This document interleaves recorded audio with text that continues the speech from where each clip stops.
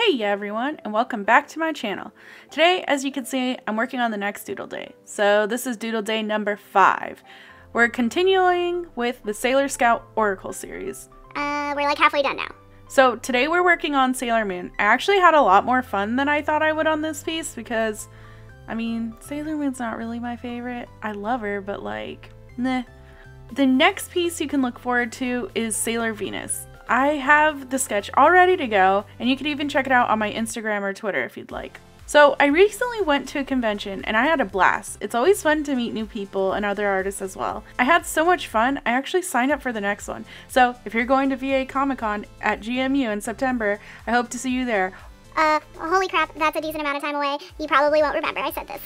After the convention, I was able to open up my online shop again, I was able to add some Chibi Moon and Sailor Mercury stickers to the shop, which I was super excited for. And I was also able to add some of my Inktober art books to the shop as well. So if you'd like to take a peek, my shop link is down below.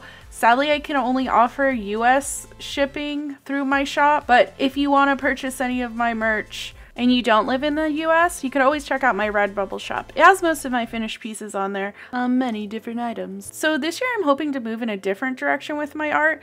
I love creating fan art, but I just love my original characters so much more. So I'm hoping when I have more time, probably over the summer, I'll be focusing on a lot of my original art and drawing my original characters more. And I feel like this year I've been focusing on just doodling when I feel like it, and then if I feel drawn to a bigger piece, I will do that. Mostly I'm just doing doodles this year, which is, it's kind of fun because just like getting my emotions out on paper. I'm definitely planning on doing MerMay and I'm going to try, I won't do all of MerMay, but like a decent amount of it.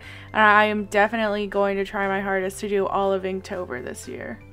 Luckily, I planned my Inktobers and MerMays out pretty far in advance so that I'm able to do the whole challenge. So I definitely think I'll be able to do it and I'm super excited, especially with Inktober since I participated and did the whole challenge last year. Thank you so much for sticking around. If you'd like to see the next Doodle Day video, be sure to subscribe down below. I've been putting videos out every Tuesday this month and plan to keep that up. Anyways, thanks again. I'll see you in the next one. See ya!